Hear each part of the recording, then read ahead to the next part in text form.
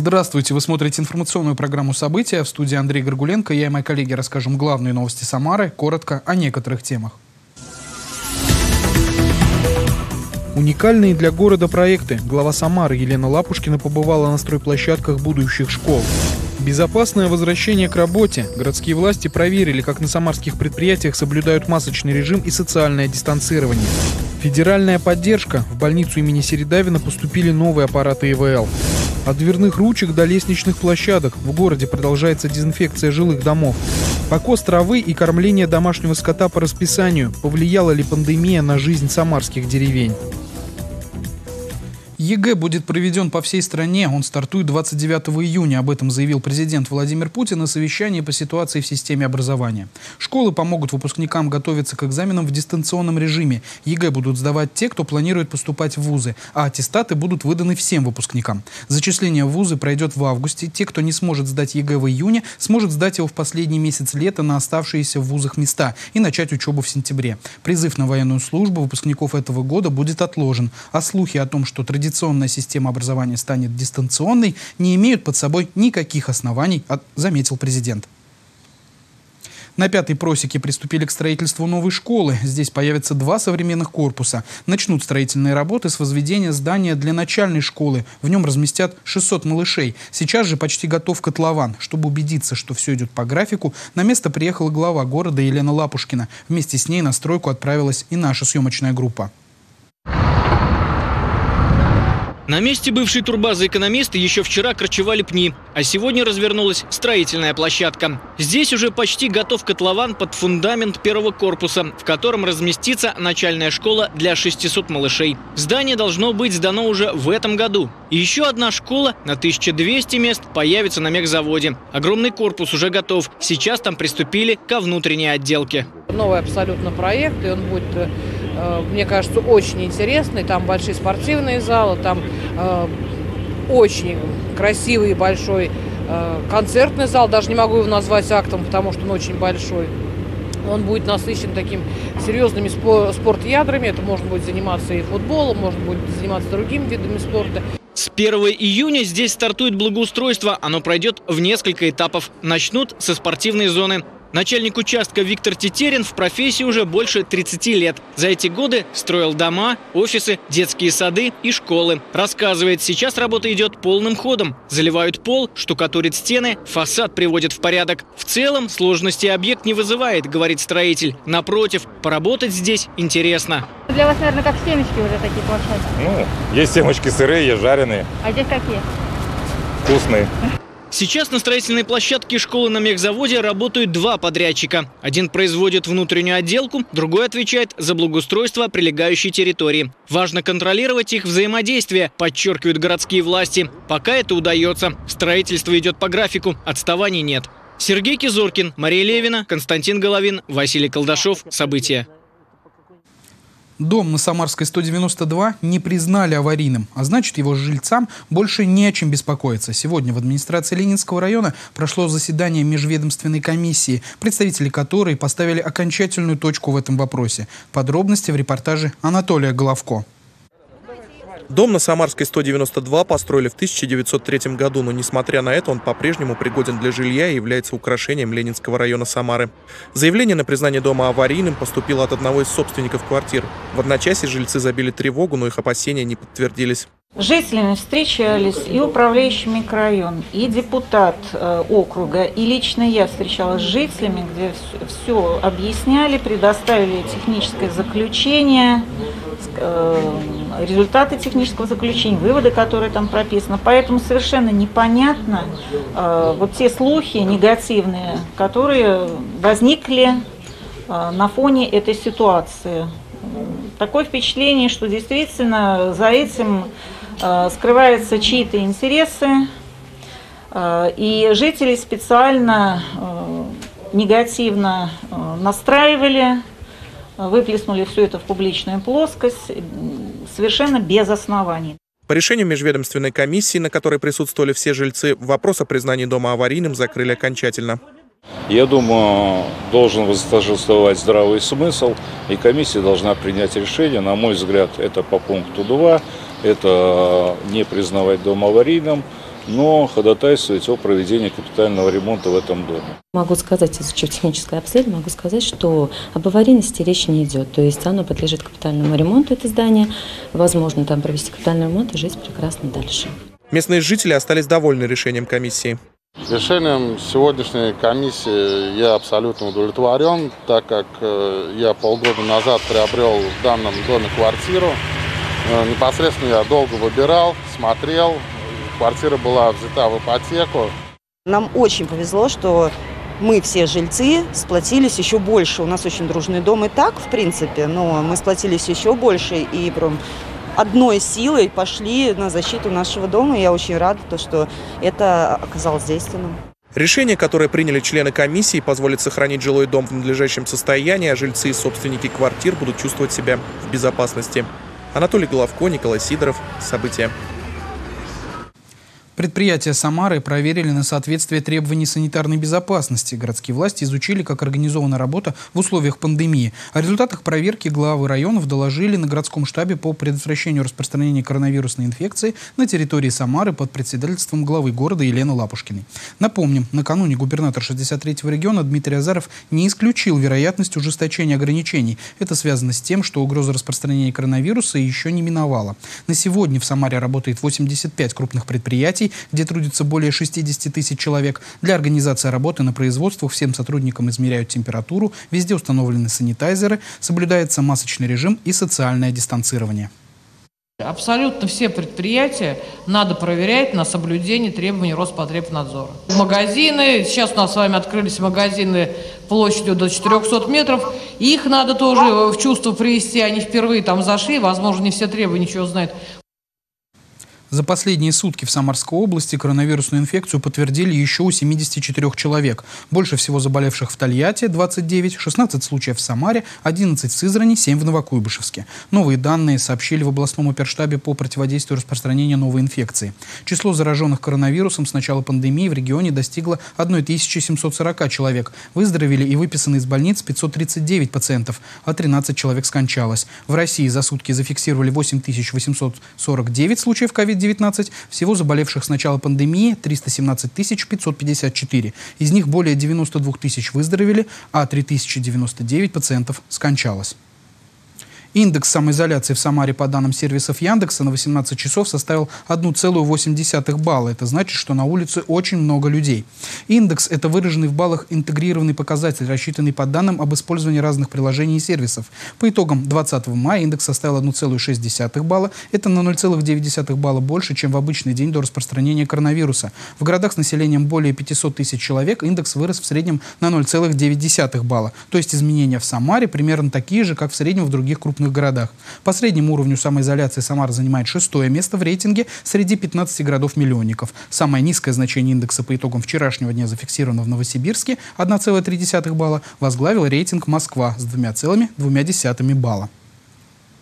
15 новых аппаратов ИВЛ поступило в областную больницу имени Середавина. Новое оборудование закуплено за счет федеральных средств. Сейчас в больницах, перепрофилированных под лечение больных с COVID-19, установлено 766 аппаратов искусственной вентиляции легких. В целом, за счет федеральных средств предусмотрена поставка дополнительного оборудования, среди которого компьютерный томограф, мониторы пациентов, увлажнители кислорода, аппараты УЗИ, рентгены и другая техника. Напомним, благодаря решениям президента России Владимира Путина, поддержки федеральных ведомств и областного правительства на переоснащение учреждений здравоохранения Самарской области выделено более полутора миллиардов рублей. Дезинфекция в усиленном режиме. Самару отмывают шампунем и обрабатывают хлоросодержащими препаратами. Всего в городе 1237 улиц, из них половина с твердым покрытием.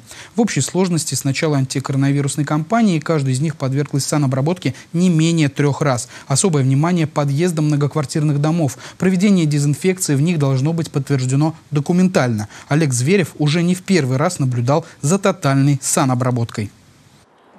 Председатель Совета дома расписывается в акте приема выполненных работ. Все сделано качественно и добротно. В подъездах дома по улице Новосадовой, 25 сегодня в очередной раз провели дезинфекцию. Согласно постановлению губернатора Самарской области Дмитрия Азарова, контроль за дезинфекцией в жилом фонде усилен и подпись представителей дома обязательно. Глава Самары Елена Лапушкина поручила руководству внутригородских районов следить за исполнением требований. Надежная защита на самом деле. Делают у нас обработку каждый день. А, делают ребята, приходят в костюмах, подписывают каждый представитель подъезда. Эти графики мы все видим, подписи все видим. На обслуживании этой управляющей компании 42 дома в Октябрьском и железнодорожном районах Самары. Дезинфекцию проводят ежедневно, опрыскивают и протирают перила, почтовые ящики, поручни, дверные ручки, кнопки в лифте и на домофоне. Используют специальный хлорсодержащий раствор, одобренный Роспотребнадзором.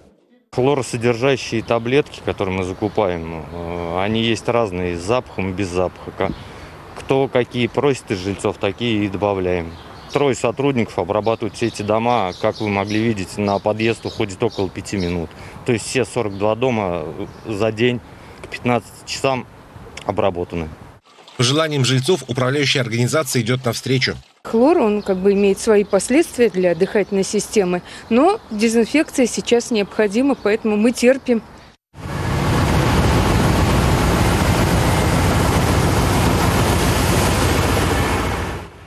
30 марта проводится и регулярная дезинфекция улично-дорожной сети, парков, скверов, набережной и остановок общественного транспорта. В респираторах и костюмах химзащиты дорожные рабочие каждый день выходят на борьбу с вирусом. В общей сложности каждая улица подверглась дезинфекции не менее трех раз. Обрабатываем дорогу специализированным шампунем ежедневно, а остановки обрабатываем э, разрешенными средствами хлорамид Б либо гипохлорид натрия день работает в предприятии на обработке 14 машин для обработки улично-дорожной сети и в каждом районе по одной единице техники для остановок общественного транспорта. Автопоезд проезжает перекресток, направляя потоки воды со специальным шампунем и хлорсодержащими средствами, так, чтобы промыть и продезинфицировать территорию даже под припаркованными автомобилями. Перед этим и после по возможности запускают дорожные пылесосы. Причем дезинфицируют не только дороги с твердым покрытием, но и пятой категории в частном секторе. По мнению жителей Самары, водные процедуры городу идут на пользу. Это же очень хорошо, что в нашем городе Самара есть такие учреждения, где добросовестно относятся своим обязательствам и убирают наш прекрасный город, дезинфицируют в связи с нашей эпидемией. Это правильно. Нужно ухаживать за нашим городом. А дезинфекция вот время насколько необходима? Ну, конечно, необходима. Она всегда необходима даже не, не конкретно в это время, она всегда необходима, потому что э, болезни у нас разные имеются, да, и в любом случае нужно дезинфицировать наш город, чтобы люди как бы дышали свежим воздухом. Дефицита препаратов для мойки и дезинфекции нет. Контракты на поставку муниципальные предприятия заключили. Кроме того, проводить дезинфекцию городу помогают армия и МЧС. Олег Зверев, Николай Сидоров, Константин Головин. События. Деревенская жизнь на самоизоляции совсем не похожа на городскую. Несмотря на то, что люди не пренебрегают средствами индивидуальной защиты, им приходится заниматься тяжелым физическим трудом ежедневно. Анатолий Головко отправился в небольшую деревушку Качкиновка и узнал, как местные жители спасаются от коронавируса. Айда, айда, айда, иди сюда. А?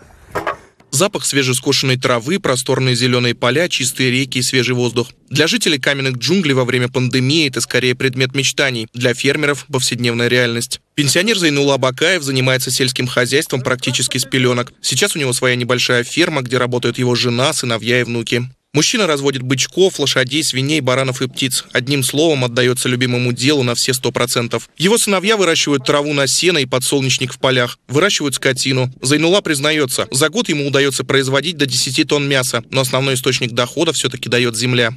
Сейчас вот э, единственное у нас э, крестьянское хозяйство – это высокотабельный э, подсолнечник. Вот она отдает какой-то доход. Вот у меня 500 гектаров земли. Работаем на этих полях. Корма сами заготовляем. Жизнь в деревне совсем не похожа на городскую. Люди здесь привыкли к тяжелому физическому труду. Они встают с восходом солнца и работают до позднего вечера. Утро в деревне начинается очень рано, ведь уже в 5 часов фермерам нужно накормить бычков, свиней и домашнюю птицу, а после этого они отправляются в поле. Недавно к Зайнуле приехали внуки. Они перебрались в деревню к дедушке из-за пандемии коронавируса. Старшая Диляра решила пойти по стопам родственников и поступила в аграрный университет. Сейчас девушка занимается домашним обучением. Одним словом, постигает науку не только в теории, но и на практике. Нам присылают задания в электронном виде, также в электронном виде мы их отправляем. У нас есть э, своя система оценок. Э, по которым потом позже будут выставлять нам зачеты, и уже в следующем будет сессия. В семье Бакаевых все профилактические меры соблюдают и пользуются средствами индивидуальной защиты. Ходим в маске, моем руки очень часто, э, антисептики, естественно. Бакаевы уверены, если ты твердо стоишь на земле, то есть живешь и работаешь на природе, никакой вирус не страшен. Ну так оно не страшно. Ну, заболеем, заболеем, заболеем маленько. Там, вон, полын растет. Пятым пьем и пошел дальше. Работа на земле дает силы и вдохновляет на творчество. А, это самодельные баги, которые собрал мой папа и мой брат. А, собирали они его зимой. Очень довольно-таки продолжительное время. Сначала он, конечно, был с двумя педалями, то есть там был просто моторчик, а сейчас они сделали его на газу. Здесь пять скоростей. Ну, все это переключается, ездит прекрасно. Когда отец работает в поле, девушка сама садится за руль и отвозит ему обед.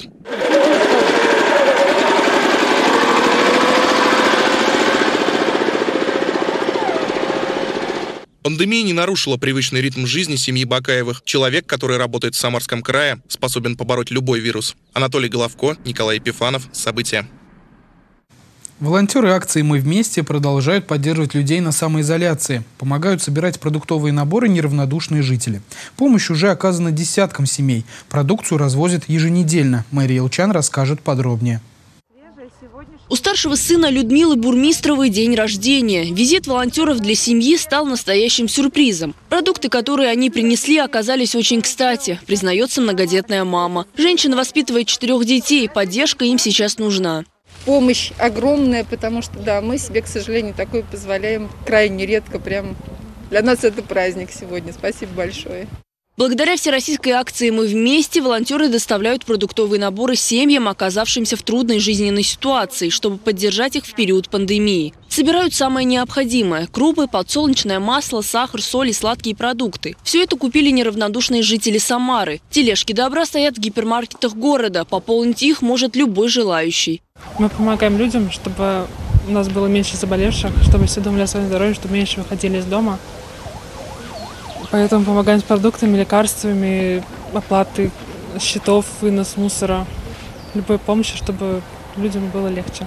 Готовы протянуть руку помощи и владельцы частных сыроварен. Например, благотворитель из Волжского района каждую среду выдает 20 литров молока, по 10 килограммов творога и сыра. Молочной продукцией уже обеспечили свыше 30 семей. Мария Илчан, Василий Колдашов. События.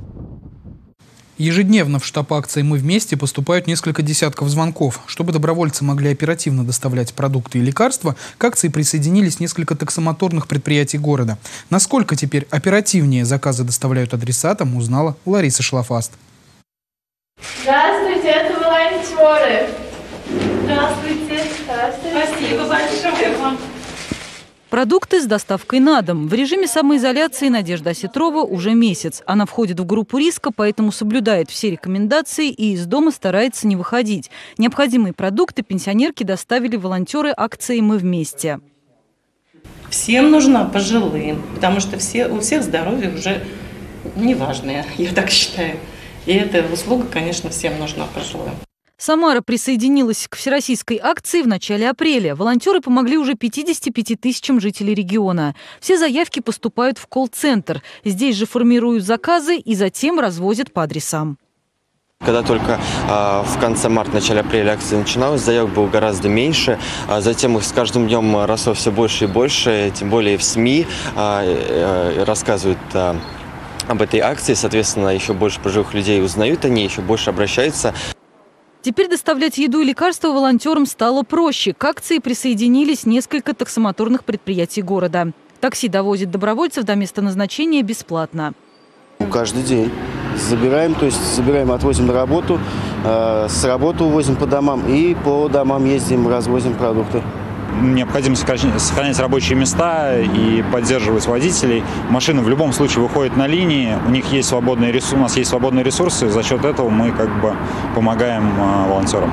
Штаб акции «Мы вместе» продолжает работу. Связаться с волонтерами можно по номерам телефонов, которые вы видите на экране. Лариса Шлафаст, Николай Епифанов. События. Задержали по горячим следам. В Куйбышевском районе Самары поймали преступника, обокравшего квартиру на первом этаже дома. Преступление произошло ночью, а уже спустя несколько часов подозреваемый был задержан и дал признательные показания. Подробности в нашем сюжете. Хозяева одной из квартир Куйбышевского района Самары утром обнаружили, что ночью их ограбили. Исчезли мобильные телефоны и планшет. Пострадавшие сообщили в полицию. Но и без визита правоохранителей было понятно, что злоумышленник проник через открытое окно. Живем на первом этаже. Кот у меня решил дышать свежим воздухом. Мы пошли ему навстречу и перед сном открыли окно. Благополучно легли спать. Утром проснулись и обнаружили, что отсутствуют гаджеты, которые лежали на кухне. Полицейские изъяли оставленные злоумышленником на окне отпечатки пальцев и следы от обуви, которые направили на экспертизу. Затем провели поквартирный обход и установили, что к совершению преступления может быть причастен местный житель.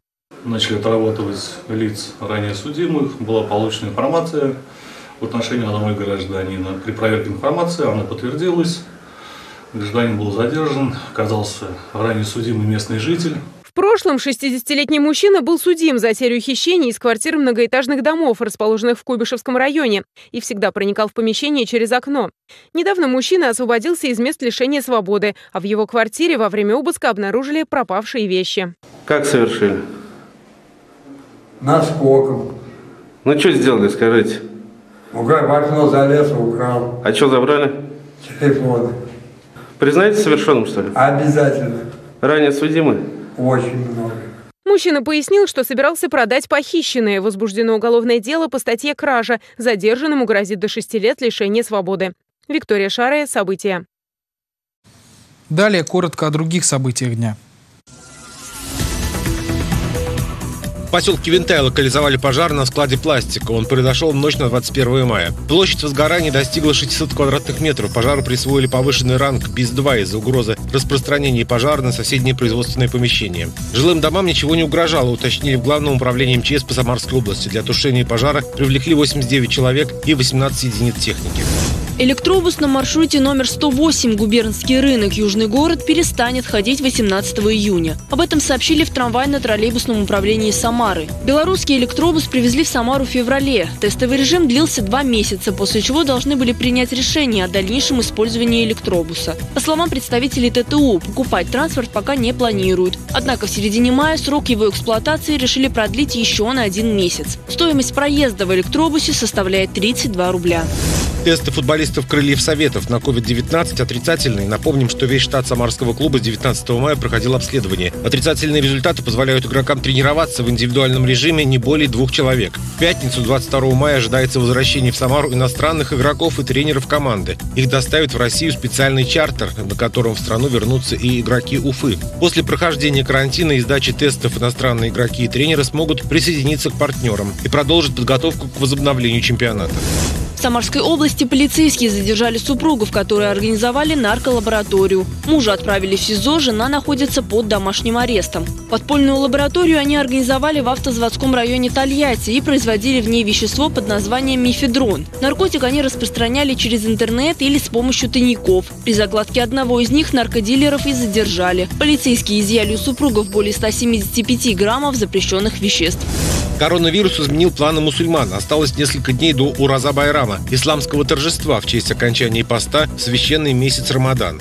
Впервые в истории он пройдет в непривычном формате. Праздничную службу мусульмане посмотрят с помощью онлайн-трансляции. Собраться в мечетях у верующих не будет возможности из-за пандемии коронавируса.